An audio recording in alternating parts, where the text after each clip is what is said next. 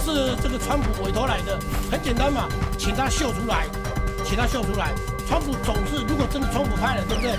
总有信吧，对不对？你这照片，你都换个什么这些东西，你总有个信吧，信里要说啊，我亲爱的是什么什么什么，我们这里我我指派他来跟你见个面，是不是？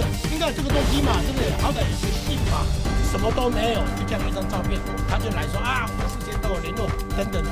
李大伟，其实啊，他接了民进党的部长之后，你知道我们在立法院质疑他，立法院很难，同样的问题他一定不会给他去弄。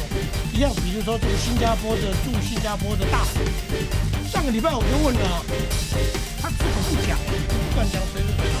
这一次罗志这一讲，他是套招，我认为是套招的啦。罗志就说，哎，是不是他？说哦，我都不知道，嗯，好像是他，就很清楚来讲，就是他们要放这个。声音放出来，而且新加坡新加坡好像也没有讲话。